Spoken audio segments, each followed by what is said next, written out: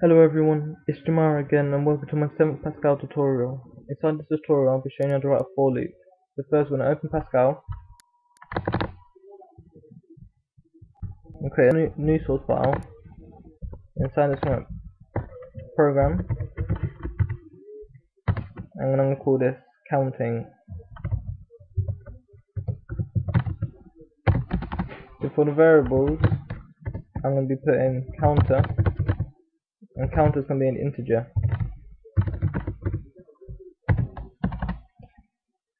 So in this one I'm just going to write a basic for loop, so I'm going to write begin. And then if I'm going to write for counter colon equals you can say the counter becomes 1, 2, 10 and then now we have to put do then now I have to say what to do, so we're going begin,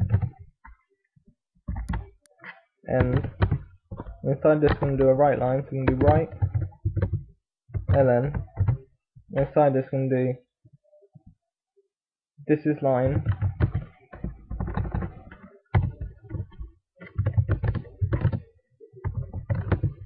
do another apostrophe, and to separate you have to do a comma, and now I'm going to write counter. So hopefully when this is compiled, for counter 1 to 10, which means counter uh, is any number between 1 and 10, it's going to write this is line counter. So this should write, for the first time this runs, this begin and end, it should write this is line 1, then it should write a new line, and it should write this is line 2, and so on for the rest. So we're going to put like a semicolon here.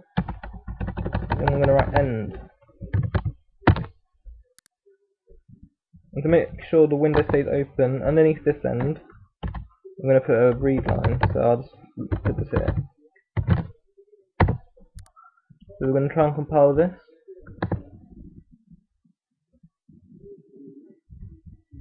And this going to call this counting.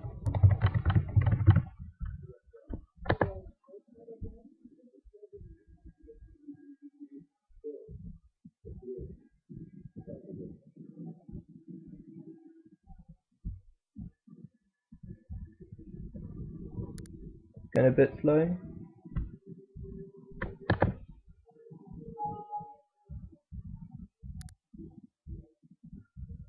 Execute it. There you go. This is line 1, this is line 2, this is line 10. And to make a space between it, because as you as you saw, it just puts the counter straight after this. If you want to space it out, just make sure there's a space inside the apostrophes after whatever the last word is. So you just put a space there. We'll compile it again. Execute it. There you go. You should have a nice space between all of them. And that's all that you have to do for a for loop.